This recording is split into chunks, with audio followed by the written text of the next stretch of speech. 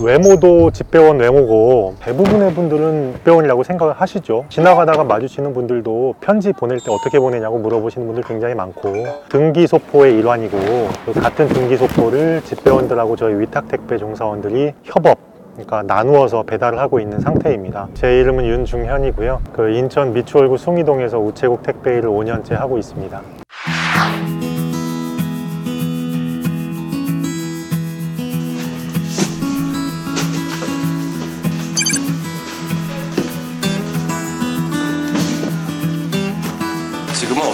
하시는 거예요? 오늘 일할 물건들을 순서대, 순서대로 배달 순서대로 차에다가 차곡차곡 쌓고 있는 겁니다.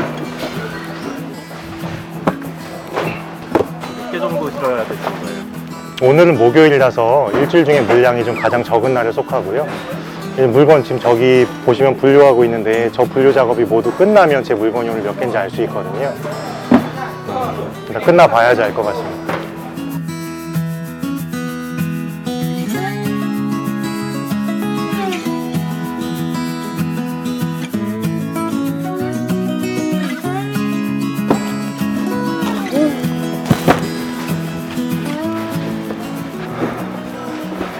거랑 여기 분류하는 거랑 차이가 뭐예요?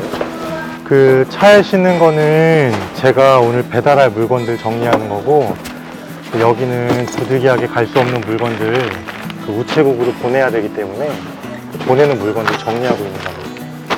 이쪽에 본 물건들은 그러면은 집배원들하고 함께 나누게 되죠. 네.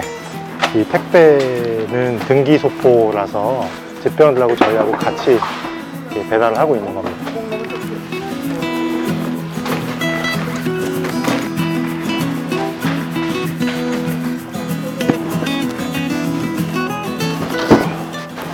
드셨어요? 아침 못 먹고 나왔습니다. 네. 공복에 일하는 게 조금 속 부담도 덜하고 편한 것 같아가지고.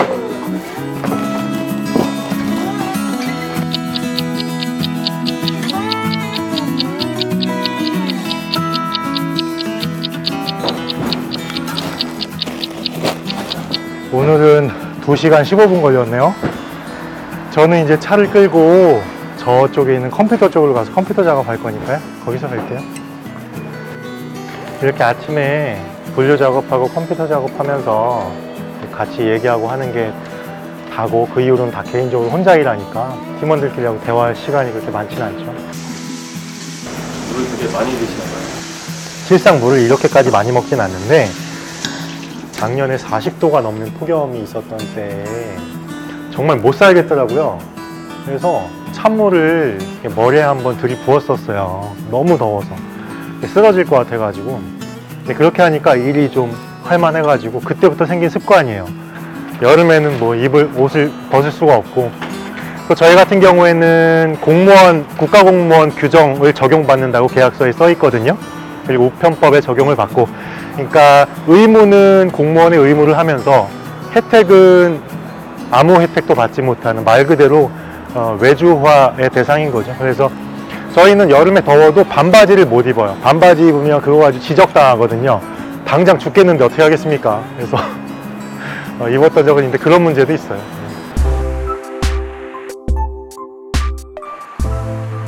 수수료가 저희 계약서에 보면은 1166원으로 계약이 돼 있어요. 근데 거기에서 이 차가 우체국 물류 지원단에서 리스 계약을 해서 저희한테 배분해 준 차거든요.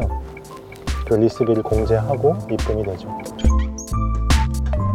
이 일을 하고 나서 아이 생기고 나서는 뭐 친구들을 만난다거나 사회생활 하는 게 좀 많이 줄어들었죠. 다음날 일어나서 운전 일을 해야 되니까 전날 뭐 술을 과하게 마신다거나 이런 것도 안 되고.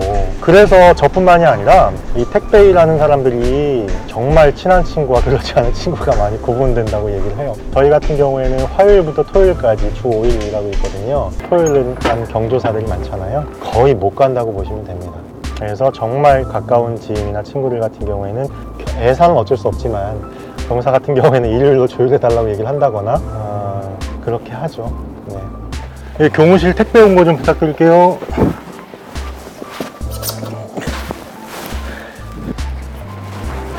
네.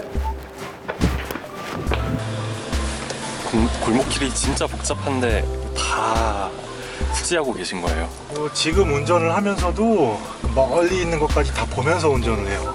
이 골목골목 차 사이사이마다 사람들이 나올 수 있기 때문에 그게 이 차가 오니까 바로바로 이렇게 확인을 하면서 운전을 하죠.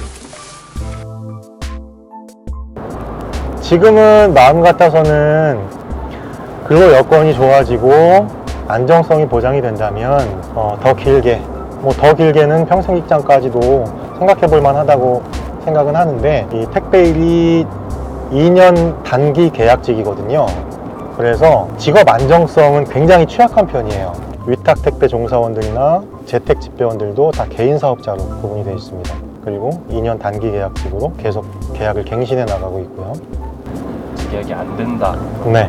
예전에는 계약 해지가 굉장히 비일비재하게 일어났었어요. 저희 계약서상에 지금 계약 말고 요 이전 계약에 민원 발생 시 주의를 준다고 돼 있고 주의 2회면 경고 1회, 경고 2회면 계약 해지할 수 있다라는 조항이 들어가 있었거든요. 그런데 민원이라고 하는 게 아시겠지만 물건을 받는 사람은 언제든지 누구든지 민원을 제기할 수 있거든요.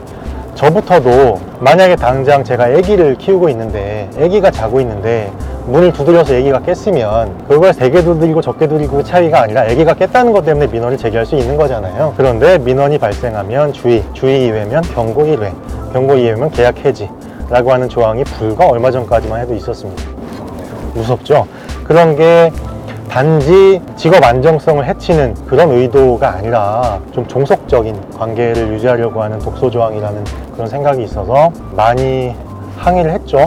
항의를 하고 지금 2019년 현재는 그나마 좀 많이 개선이 된 편입니다. 처음에는 되게 오래 걸렸어요. 어, 너무 힘들었어요. 그때는 아 정말 떠올리기도 싫은데 저 같은 경우는 막 저녁 9시까지 일을 하고 더 늦는 사람은 새벽 1시까지 일하는 사람들도 있었어요. 새벽까지요. 네, 새벽 1시. 그러면 저희가 아까 봤지만 5시 반부터 업무 시작을 하니까 보통 4시 반이나 4시 40분, 50분쯤에 일어나서 씻고 여기 나오거든요. 그러면은 그런 사람 같은 경우는 3시간, 3시간 반 자고 나와서 다음날 다시 일한 거죠. 그래서 처음에 아무 사전 지식 없고 정보 없이 그냥 들어와서 일하다가 못 버티고 나가는 경우가 꽤 많아요. 그래서 우체국 택배가 다른 택배에 비해서 업무 기간이 좀 긴 편인데 어, 인원 교체가 적은 편인데 그거는 버티지 못하고 3개월 이내에 나가시는 분들이 그만큼 많은 거고 3개월에서 6개월 정도 버티면 그 다음에 하시는 분들은 좀 오래 하시죠. 대개는 못 버티고 나가는 분들이 꽤 많아요.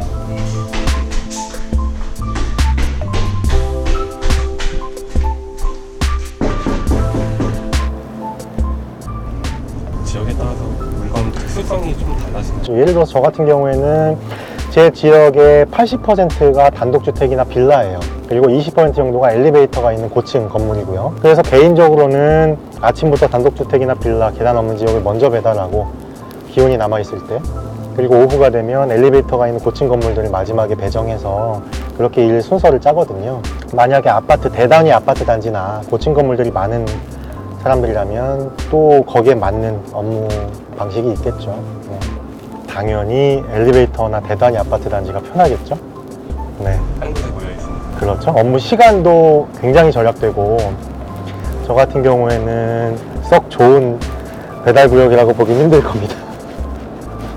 그래도 정은 더 가죠. 사람들 한 사람 한 사람이 당연히 자기가 택배비를 내고 물건을 받는데 이렇게 고마워하는구나. 사람들 웃는 얼굴 보는 게 참 사람 기운 나게 한다.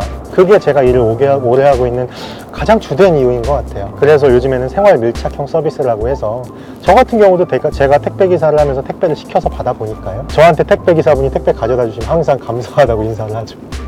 택배 기사님들 보면 아, 너무 바쁘셔가지고 수 있겠더라고요. 그렇죠. 저도 그 부분이 딜레마예요. 그러니까 아까 말씀드렸던 것처럼 저희한테 서비스 품질을 높이라는 요구들이 오거든요. 서비스 품질이라는 게 뭔가요? 한 사람 한 사람 웃는 얼굴로 인사하고 그렇게 기분 좋게 해주고 감정 노동까지 하라는 건데 육체 노동을 하면서 감정 노동하는 거 가능하죠. 그리고 그렇게 하고 싶고 당장 육체 노동 양이 많으면 지치고 힘들고 특히 폭염기나 이럴 경우에는 당장 힘들어서 얼굴에 찌푸려지는데 그럴 때 감정 노동까지 요구하면 많이 힘들죠.